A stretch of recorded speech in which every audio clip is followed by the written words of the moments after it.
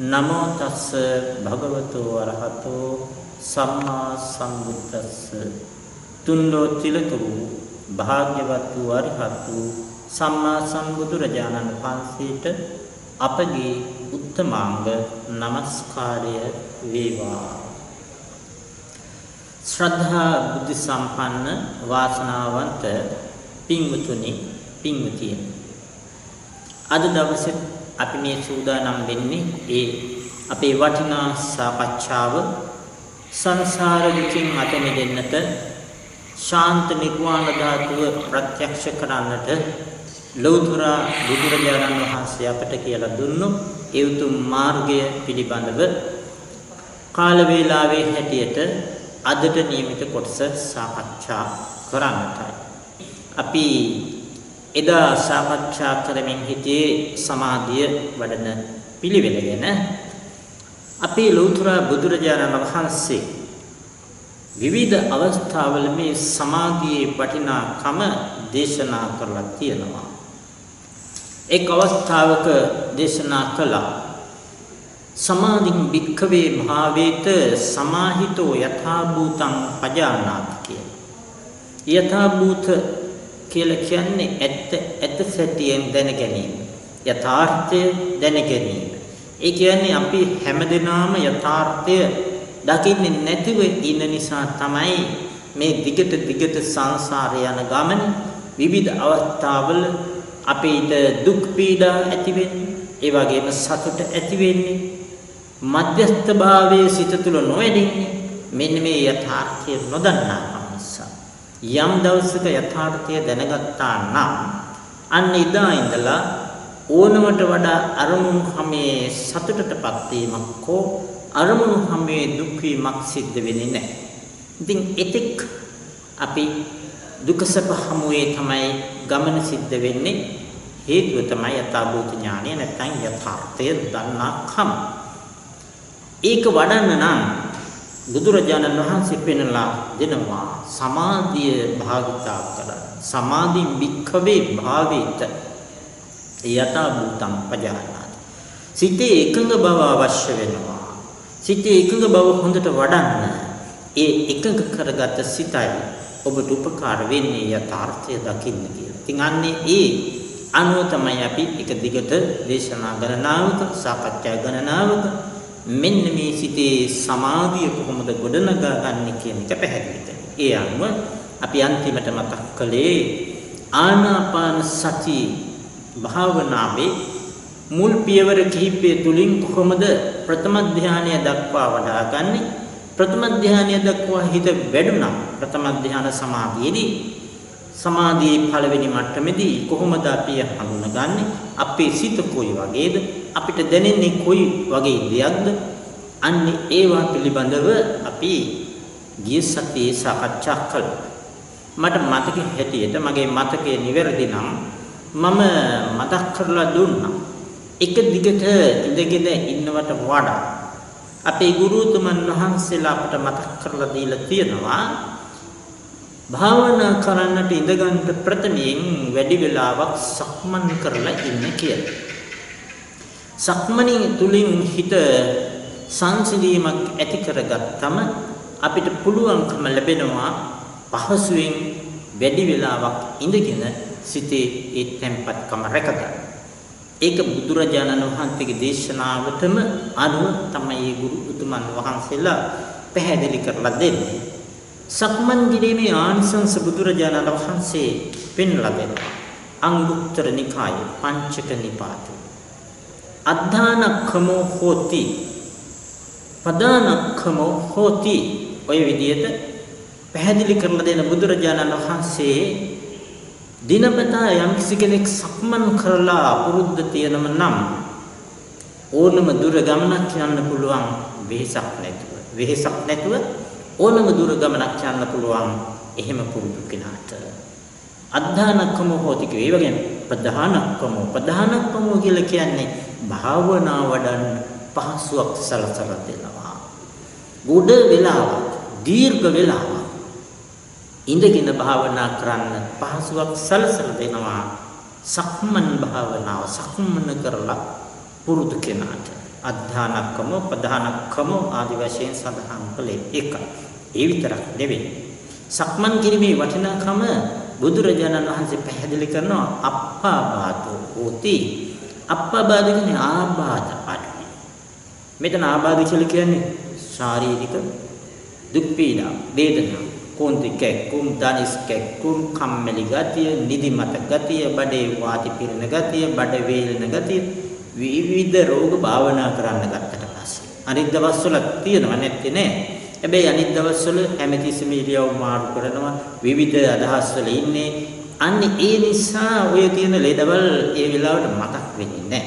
හැබැයි භාවනා කරන්න ගියාම බොහෝ දිනාට තියෙන ප්‍රශ්නේ තමයි ඔය කිව්වේ. දරිස් සමාරු කොන්දේ අමාරු බඩ වේලෙන ගතිය බඩේ වාතය පිරීම විවිධ විවිධ රෝග මතක් අන්න ඒ වගේ ආබාධ වලට බාධක වලට හොඳ ප්‍රතිකර්මයක් බුදුරජාණන් වහන්සේ දේශනා කරනවා වැඩි වෙලාවක් සිහියෙන් සක්මන් කිරීම. ඒ තුන්වෙනි කාරණය. අනිත් එක තමයි අසිතේ පීතේ කායිතේ සාහිතේ සම්මා පරිණාමං ගච්ඡති. ඒ කියන්නේ මොකක්ද?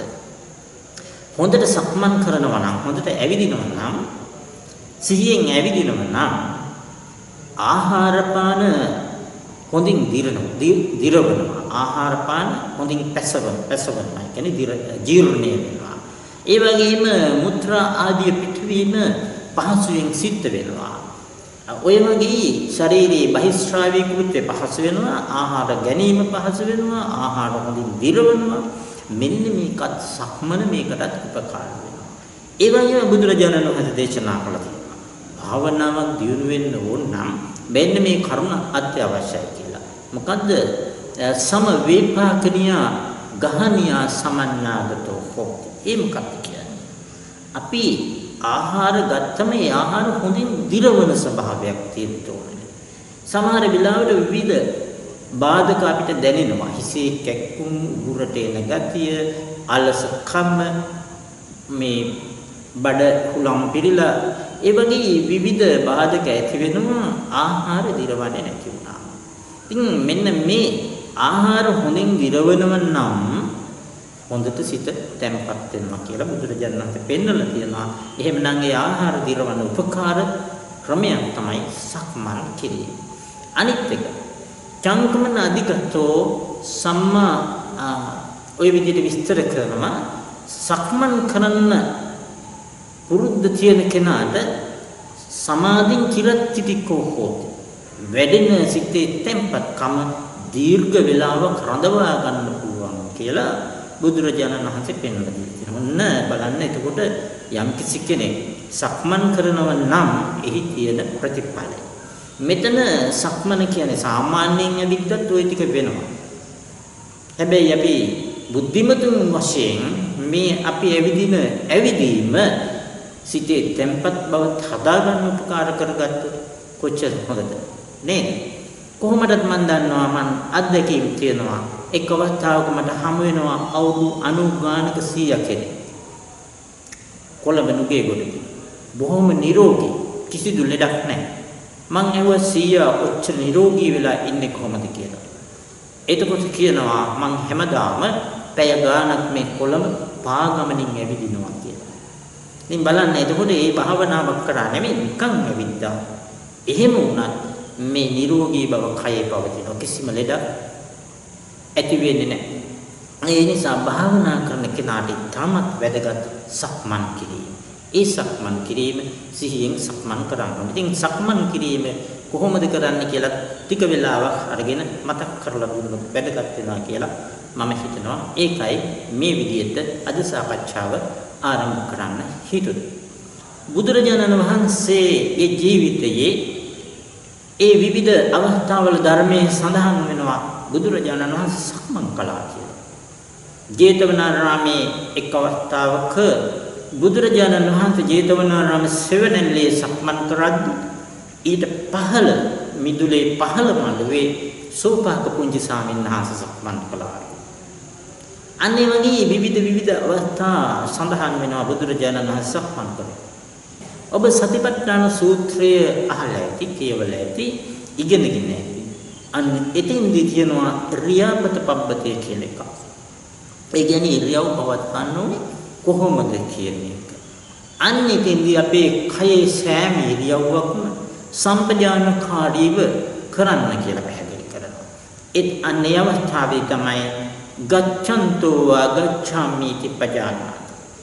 සක්මන් කරනකොට ඇවිදිනකොට යනකොට මම මේ යනවා කියලා දැනගන්න. නවතිනකොට මම නැවතුණා කියලා දැනගන්න. අතපය දිග හරිනකොට හකුලනකොට මම අතපය දිග හරිනවා හකුලනවා කියලා දැනගන්න. සම්පජානකාරී වෙන්න කියලා බුදුරජාණන් වහන්සේ දීර්ඝ විස්තරයක් එතන කියනවා. ඒක අදාළ වෙන්නේ විදර්ශනාවට. ඒ නිසා සමතේදී කොහොමද අපි අපි තාම මේ විදර්ශනා පැත්තට නෙමෙයිනේ අපි තාම පුරුදු වෙන්නේ සිතේ සමාධිය හදාගන්න. සමාධියට උපකාර වෙන විදියට අපි කොහොමද සක්මන් කරන්නේ කියන කාරණය අපි අද හොයලා බලමු. අපිට විවේක අවස්ථාවල විවේකයක් තියෙනවා නම් එහෙම නැත්නම් භාවනා කරන්න විශේෂ අවස්ථාවක් යොදාගෙන තියෙනවා නම් එහි මුල් කාලය ඔබ සක්මන් කරන්න ගන්න. ඔබට තියෙනවා නම් බාහිර පරිසරයේ සක්මන් කරන්න සුදුසු පරිසරයක් ඔබ රැඳී සිටින නිවසේ හෝ වේවා. එහෙම නැත්නම් ඔබ විශේෂ පරිසරයකට ගියොත් පාක් එකකට වගේ ඒ වගේ තැනකදී ඔබ වෙනත් බාධක නැති පියවර 30ක් 40ක් ඇවිදින්න පුළුවන් යම් දුරක් තෝරගන්න.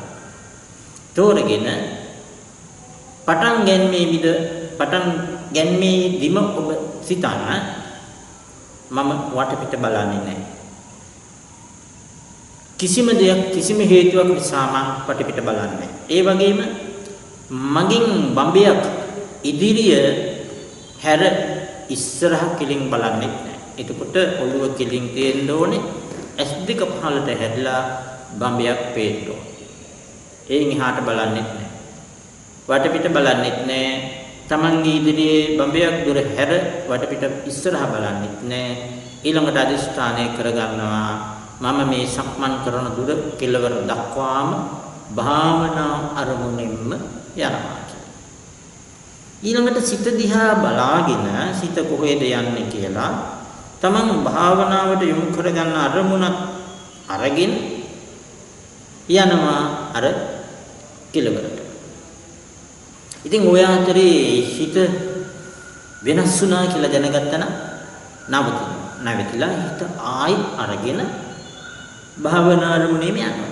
ඉතින් භාවනා අරමුණ හිතෙන් ඈත් වුණා නම් හිත වෙන අරමුණකට. ඉතින් එහෙම සක්මන් කරලා වැඩක් ඒ විදිහට සක්මනේ කෙලවර දක්වාම හිත ගැන හොය හොයාම භාවනා අරමුණ යනවා. හරියට ඔබ දැකලා ඇති අපි ලංකාවේ නම් තියෙනවා පෙරහැර කාලෙට අර ඔළුව උඩ උස මල් වට්ටියක් වගේ මල් කලඹක් වගේ එකක් තියාගෙන කාන්තාවන් ඩාන්ස් කර කර නටනට ආය. හැබැයි අතින් අල්ලන්නේවත් නෑ ඒ මල් කලඹ. වැටෙන්නේ නෑ.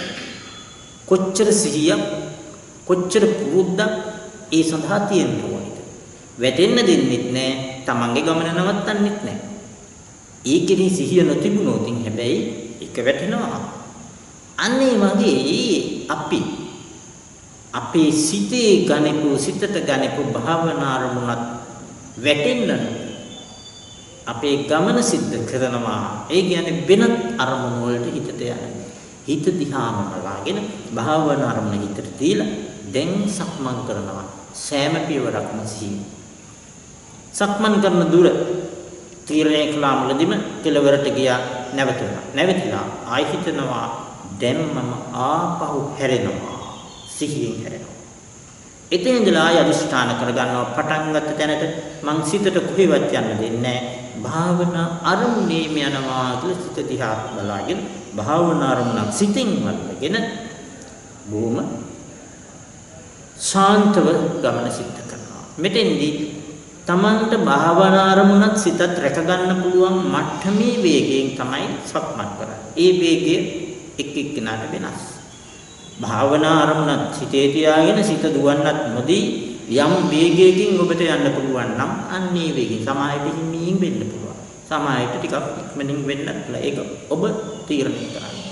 ඔය විදිහට හිත කුහිවත් යන නොදී භාවනා අරමුණින් රැකගෙන පැය භාගයක්වත් සක්මන් කරන්න පුළුවන් නම් ඔබේ සිත බොහොම තැම්පත් වී ඊළඟට ඔබට තියෙන දේශීයෙම ගිහිල්ලා ඉඳ ගන්න තැන ඉඳගෙන අපි වෙනද කියන විදිහට ඉඳගෙන කරන භාවනාව කරන්න.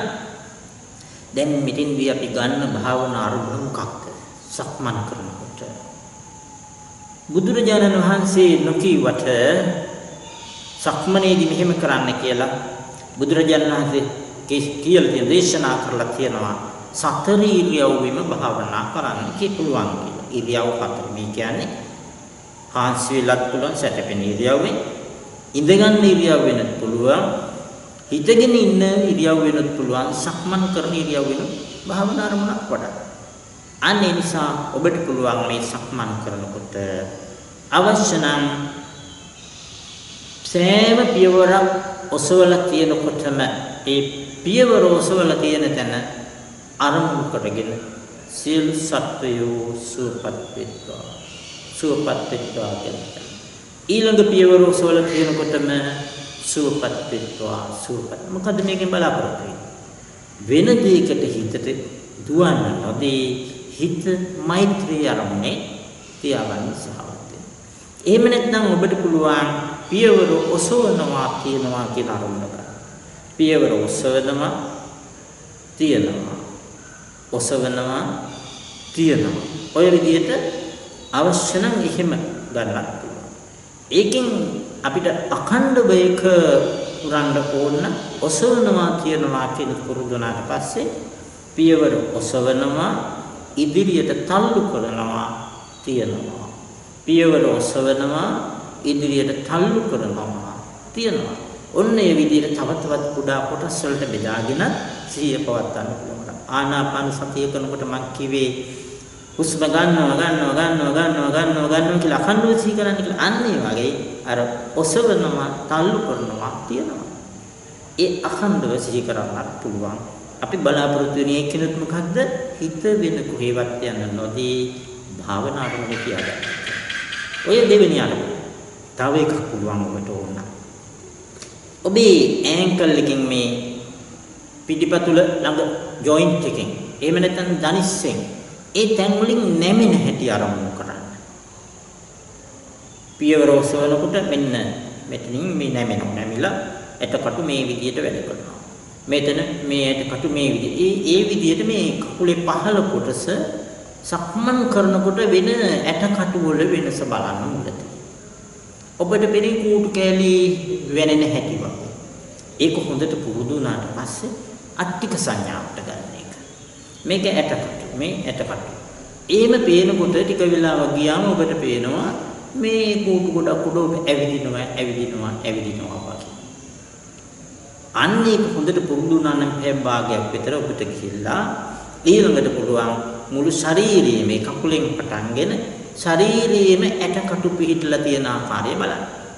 ශරීරයේම ඇටකටු පිහිටලා තියෙන ආකාරය. ටික වෙලාවක් යනකොට ඒක හොඳට පුරුදු කෙනාට ඔබ වෙනුවට ඔබේ අස්ටි පද්ධතිය හොඳින් පේන ගන්න. ඇට සැකිල්ල. ඒ ඇට සැකිල්ල පිළිකුල් වශයෙන් වඩලා ඒ වර්ණය උපයෝගී කරගෙන පස්සේ කාලෙක ඔබට පුළුවන් ඕදාත කසිනේ කියන්නේ සුදු පාට වර්ණය අරමුණු කරගෙන ධාන 8ක් දක්වා හිත දියුණු කරන්න ප්‍රබල මට්ටමකට. ඒ නිසා මේ සක්මන් භාවනාවෙන් පටන් ගන්න මේ දේ අපිට ඉහළට ඉහළට ගන්න පුළුවන්. නමුත් මේ අවස්ථාවේදී වුණ වෙන්නේ කොහොම පිණිසද? ඉඳගෙන ඉඳීමේ පහසුව පිණිස ශාරීරික දුබලතා වෙනස් කර ගැනීම පිණිස සිතේ සමාධිය ස්ථිර කර ගැනීම පිණිස අපි ඉඳගෙන භාවනා කරන්නට කලින් සක්මන් කරලා පටන් ගැනීම. ඒ නිකන් සක්මන් කරනවා නෙවෙයි, නිකන් ඇවිදිනවා නෙවෙයි, සිත එකඟ කරගෙන සක්මන් කිරීම තමයි ඇවිදීම තමයි මෙතෙන්දී බලාපොරොත්තු වෙන්නේ. එහෙම පුරුදු වුණා. ඔබ කොයි මොහොතේ ගේ ඇතුලේ ඔබේ නිවස ඇතුලේ ඇවිද්දත් විනත් වැඩකට ඔබ පාගමනින් පාරය විදගෙන ගියත් එහෙම නැත්නම් විවේකයේ පිණිස එහෙම නැත්නම් ව්‍යායාම පිණිස ඔබ යම් තැනක ඇවිදින්න පුරුද්ද තිබුණා හැම මොහොතකම හිත හොඳට පුරුදු වුණාම භාවනා අරමුණන් ඔබේ පියවර තමයි. ඒ කියන්නේ මෛත්‍රී අරමුණෙන් ඔබ පය ඔසවලා තිබ්බනම් ඔබ පය ඔසවලා තිබෙන සෑම පියවරකම සුවපත් වේවා සුවපත් වේවා සුවපත් වේවා කියන සිත ඉබේම වැඩ කරනවා.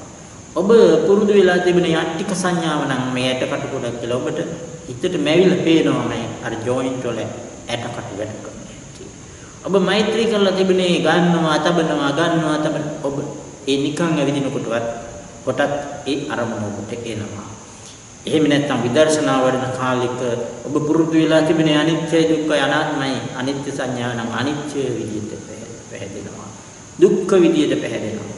එහෙම නැත්නම් අනාත්ම විදිහට පුරුදු කරන ඒ කාලය තුළ ඔබ පුරුදු කරන භාවනාවට අනුව ඔබ ගමන් කරනවා. ඉතින් දවසේ කොයි වැඩකට ගියත් ඔබ ඇවිදගෙන යනකොට එවන් අරමුණක් ඉබේම හිතට එනවා නම් ඔබේ දවස නොසිස් බවට පත් වෙනවා. බලන්න කොච්චර වටිනවද?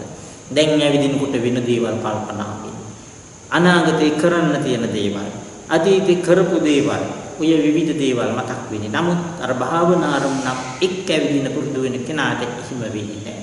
කාලය ඊටමත් වැදගත් විදිහට අපේ සිත සඳහා අපි ඒ ප්‍රයෝජනයට ගන්නවා සිත තැම්පත් කර ගැනීම සඳහා යථාර්ථය තේරුම් ගැනීම සඳහා ඒ නිසා ඔන්න ඔය විදිහට ඔබට පුළුවන් සක්මන් භාවනාව ඕනෑම අවස්ථාවක පුරුදු කරගන්න. විශේෂයෙන්ම ඉඳගෙන භාවනා කරනවට කලින් පැය භාගයක්වත් සිහියෙන් පියවර 30ක් ඉදිරියට පියවර 30ක් අපස්සට ඒ විදිහට ඒ සක්මන් කරන්න පියවර 30කවත් දුරක් තියනවා නම් වඩා හොඳයි කියන කෙනෙක් කිව්වේ. එහෙම පුරුදු කරගන්න. ඊළඟට අපි කිව්වේ භාවනා කරන කෙනෙකුට ඇතිවෙන බාධක ප්‍රවේශම් විය යුතු ආකාරය ටිකක් පැහැදිලි කරන්න ඕන කියන එක. භාවනාවේ යෝගියා අවස්ථා තුනක ප්‍රවේශම් වෙන්න ඕන. අවස්ථා තුනක. එකක් තමයි ආරම්භයේදීම බාධක මොනවද? ප්‍රයෝජනවත් වෙන උපකාර ධර්ම මොනවද කියලා දැනගන්න ඕන. දෙවෙනි එක තමයි සමාධි ආලෝක්‍ය සමාධි නිමිත්ත අපි ගිය සතියේ කියන මට්ටමට හිත වැඩුණා අපි විශේෂයෙන් දැනගන්න ඕන කරුණු ටිකක් තියෙනවා කොහොමද හිත ආරක්ෂා කරගන්නේ. ඊළඟට විදර්ශනාව වඩාගෙන වඩාගෙන වඩාගෙන යනකොට යම් අවස්ථාවක ඔබ රැවටෙන අවස්ථාවක් තියෙනවා. අන්න ඉතින්දී ඔබ නොරැවටී ඉන්න ඔබ ප්‍රවේශම් වෙනවා ඉතින් අර අන්තිම කරුණ දැනට අවශ්‍ය වෙන්නේ නැහැ. මුල් කරුණ දෙකෙන් කෙටියෙන් යමක් පැහැදිලි කරන්න මේ සූදානම්. භාවනා කරන කෙනාට ගොඩාක් බාධක ධර්ම තියෙනවා භාවනාවට. හැබැයි ඒක බාධක කියලා ගොඩක් අය හිතන්නේ නැහැ. සිත තැම්පත් කිරීමේදී අපිට විශේෂයෙන්ම මේ තැම්පත් කරගන්න වෙලා තියෙන්නේ සිතේ තියෙන චංචල ගතිය නිසා නිසංසල කරගන්න. ඒක අපි මුලදීම කිව්වා. දිය බඳුනක උපමාවකින්. එහෙම නැත්නම් පොකුණක උපමාවකින්. චංචල වතුරේ කිසිවක් පේන්නේ නැහැ. නිශ්චල කරගත තරමට තමයි අපිට යමක් දකින්න පුළුවන් කියලා. ඒ සිත චංචල වෙන්නේ කෙලිස් නිසා. කෙලිස් කියලා කිව්වේ අපි විශේෂයෙන්ම මේ අවස්ථාවේ හඳුන්වන්නේ නීවරණ කියලා. කුසලයට බාධා කරන නිසා නීවරණය කියලා කියනවා. කුසලය නැත්තම් කුසල් සිත වහලා දාන නිසා ආවරණය කරන නිසා නීවරණ කියලා ප්‍රධාන නීවරණ පහක් විස්තර කළා. පහක් විස්තර කළා. ඒ කියන්නේ කාමච්ඡන්දය. කාමච්ඡන්දය කියන්නේ හිතේ ඇති වෙන ලෝභකම. ව්‍යාපාදයේ සිටී ඇති වෙන කනස්සල්ල දුක් තරහ. තීන මිද්දය කුසල් කරන්න තියෙන කම්මැලිකම. කල් දානගතිය. උද්දච්චය සිටී විසිරිච්ච බව. එක්තෙන් කරගන්නම විසිරිලා කුක්කුච්චය කරපු හොඳ දේවල් ගැන හෝ කරපු වැරදි ගැන පසුතැවිලි වෙනවා මතක් කර මම මෙහෙම නොකර නම් හොඳයි කියලා. අනිත් එක විචිකිච්ඡාව. විචිකිච්ඡාවේ සැකය භාවනාව කෙරෙහි තියෙන සැකය. භාවනාව පිළිබඳ කියා දෙන යාළුවා නැත්තම් ගුරුවරයා ගැන තියෙන සැකය. ඊළඟට ශාස්ත්‍රුන් වහන්සේ කෙරෙහි තියෙන සැක විශේෂයෙන්ම භාවනා කරන කෙනාට මේ භාවනා මාර්ගය පිළිබඳ මේක හරිද මං වඩන හැටි හරියද? මෙහෙම කරොත් හරියයිද? අන්නේ සැක නැති වෙන්න ඕනේ. ඒ සැක තියෙන තුරාවට භාවනාවක් වැඩි. මේ භාවනාව කියා දෙන ක්‍රමේ හරිද? මේව ඇත්තද? සැක තියෙනවා නම් භාවනාවක් වැඩින්නේ නැහැ. ඒ නිසා මෙන්න මේවා තමයි හිත චංචල කරන දේවල්.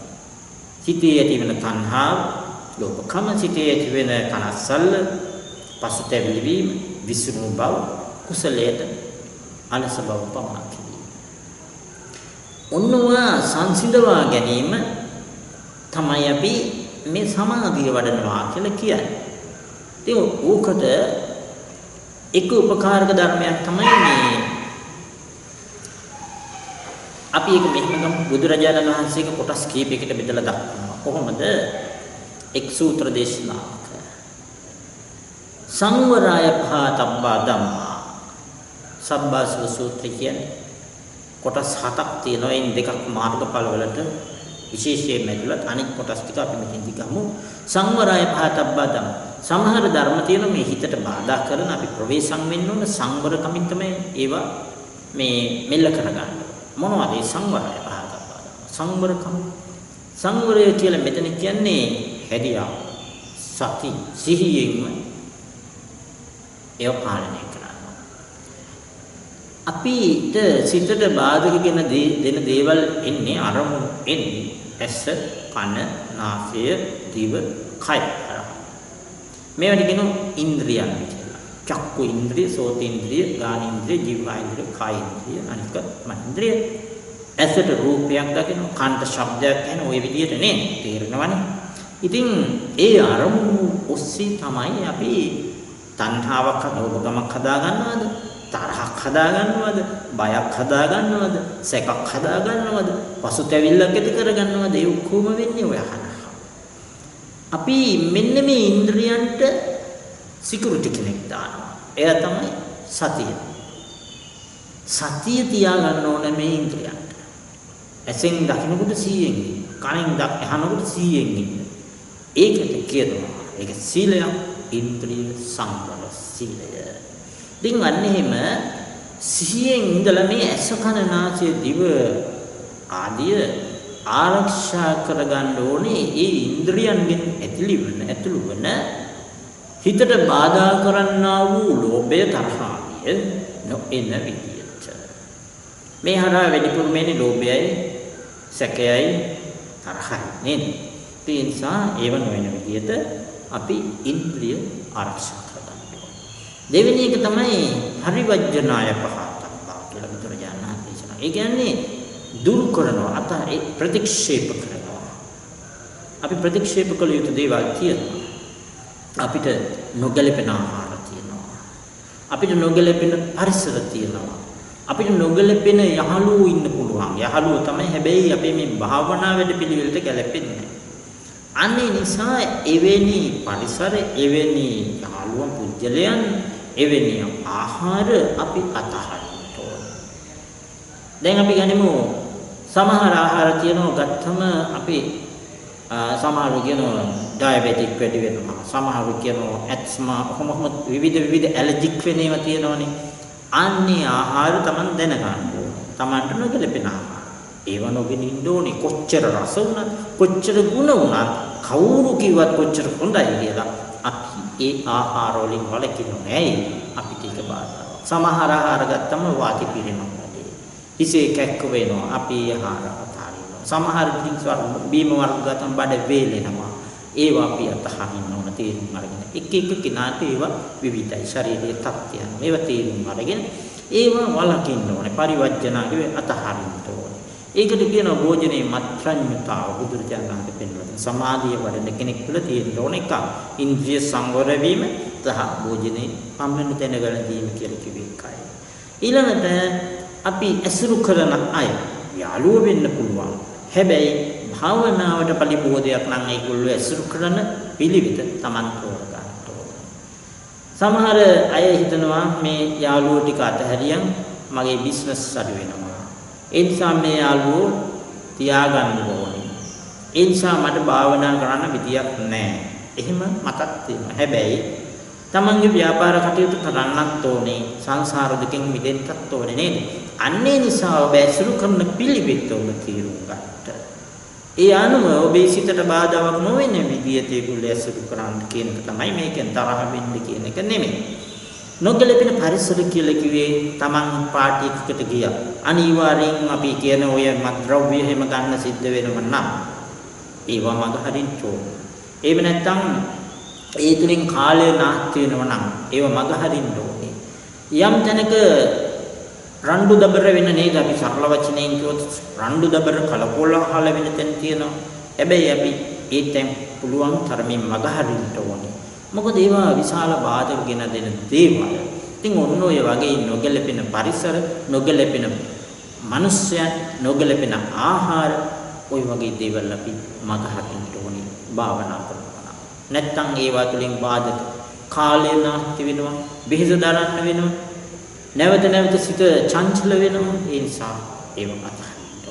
දැන් කරුණු දෙකක් තිබා. අනිත් එක තමයි පටිසේවනාය පතම්බා කියලා බුදුරජාණන් වහන්සේ වචනයක් දේශනා කළා. ඒ මොකක්ද? නුවණින් සලකා අපි ප්‍රයෝජනෙට ගන්න දේවල් ප්‍රයෝජනෙට ගන්න ඕනේ. අත්‍යවශ්‍ය දේවල් කීපයක් තියෙනවා අපිට නේද? මොනවද? කන්න බොන්න ඕනේ, බඩගිනින්න බෑ. අඳින්න පළඳින්න ඕනේ, ඇඳුම් ඕනේ. ඒ වගේම ඉන්න නිවහනක් තියෙන්න ඕනේ. ඒකට මැටලක් යානවා ගන්න. ගමන බිමනක් යන වාහනයක් තියෙන්න ඕනේ. මුදල් පදල් තියෙන්න ඕනේ. ඒතුව බෑ. ලෙඩ වුණාම පොළෙඩ වෙනවට බොන්න බෙහෙත් තියෙන්න ඕනේ. ඒ දෙකම තියෙනවනේ. ලෙඩ වීම වළක්වන්න බෙහෙත් ඖෂධ ගන්නවා, නිවාරණ බෙහෙත් වර්ග. ඒ වගේම ලෙඩ වුණාම ගන්න ප්‍රතිකාර වශයෙන් ගන්න බෙහෙත් වර්ග තියෙනවා. ඉතින් ওই හතර තමයි ඕනම සත්‍යය. මිනිස්සුන්ට අවශ්‍ය. ඒක භික්ෂුන් වහන්සේ ගැන කතා කරනකොට සිව්පසය කියලා කියනවා.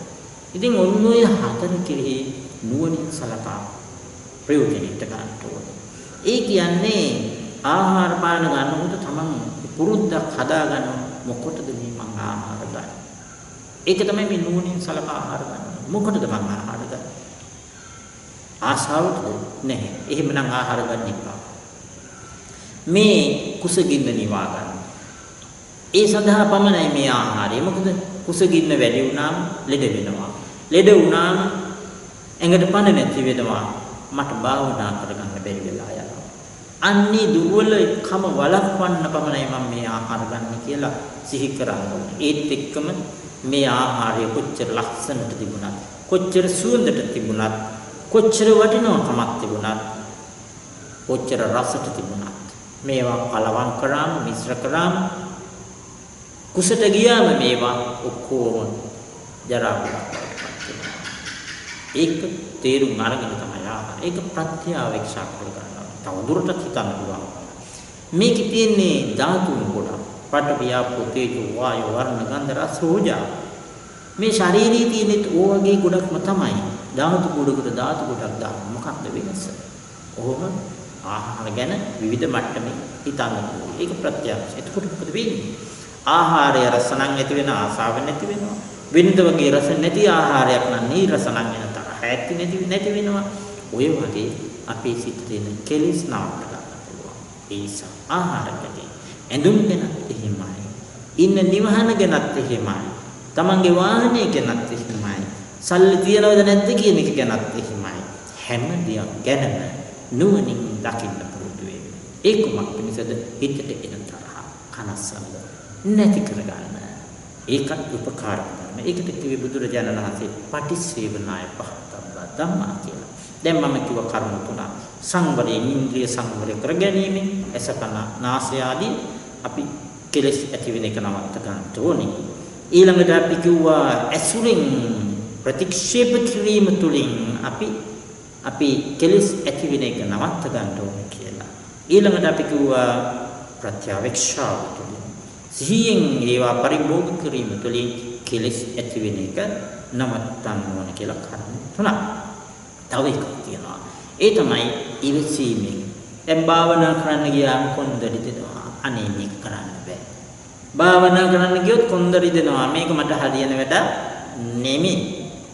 දනිස් කැක්කුම ඉන්නේම භාවනා කරන්න කියලා නිකන් ඉන්නකොට ඌ ඉන්නේ මේක මට හරියන වැඩක් නෙමෙයි.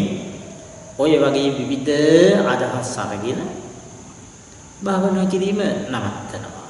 එහෙම හිතන්න ඉවසන්න ඕනේ. මේ කැක්කුම් මීට වඩා වැඩි ඇති වෙනවා. මට වෙන වෙන වැඩ නිසා ඒවා අමතක වෙලා තියෙන්නේ.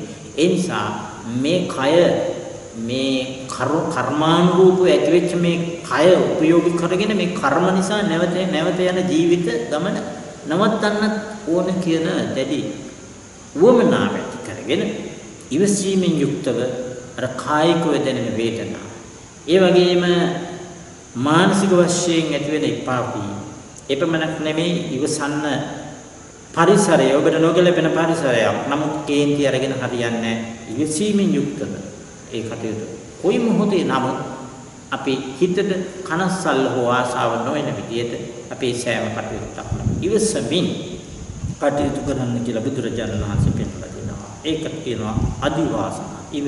ඉවසීමෙන් කරන කෙලස් යටපත් කිරීම. තව එකක් තියෙනවා. ඒ තමයි විනෝදනාය පහතව. විනෝදනාය කියන්නේ දුරින්ම දුරු කරන එන්න දෙන්නෙම නැහැ කොහොමද? මේක අත්‍යවශ්‍ය දෙයක්. අර ඔක්කොම ඇතුළත් මේකට. ඒ මොකක්ද? හිතට එන ආසාව. ඒකට කියනවා කාම විතර්ක කියන ආසාව වෙනවා. මොනව ගැනද? යම් යම් දේවල් බලන්න, යම් යම් දේවල් අහන්න, යම් යම් දේවල් නැහැයි ආග්‍රහණය කරමින් ඒ සුවඳ විඳින්න. ඒ වගේම දිවෙන් රස විඳින්න, කයට ලැබෙන ස්පර්ශ විඳින්න. ඒවට කියනවා කාම විතර්ක. ඉන්නකොට භාවනා කරනවා මෙන්න මේ වගේ කෑමක් කෑවොත් හොඳයි. මේ වෙලාවට මේ වගේ බීමක් හොඳයි. ওই වගේ හිතෙන සිතුවිලි එන ඒ හැම එකම කාම විතර්ක. ලෝභකම තණ්හා වාසාව වෙනව නම් ඒක කාම විතර්ක. ඒවා අතහැරලා දාන්න භාවනා කරන වෙලාව විතරක් නෙමෙයි. හැමතිස්සේ මේකයි ප්‍රත්‍යවේක්ෂාවක් කරන්න කියලා කිව්වේ. භෝජනේ ප්‍රමණ දැන කරන්න කිව්වේ ඒක. මොකද ඊළඟට අපි ගනිමු කෑම බීම ගැන විතරක් නෙමෙයි. ඇඳුම් පැළඳුම් ඕන දෙයක් ගැන ආසා හිතන දේවල් අපි ඒ විතරක් අතහරින්න ඕනේ. පුළුවන් උපරිමයි ඊට පස්සේ අනිත් ඒවා නම් එච්චර මම හිතනවා ඔබතුමන්ලාට බලපාන්නේ නැහැ. එකක් තමයි ව්‍යාපාද විතක්කය. ව්‍යාපාද විතක්ක කියන්නේ තරහින් එක. අනුන්ට බාධා ප්‍රමනුවන එක සතේ සතාසේ පාවට පවා.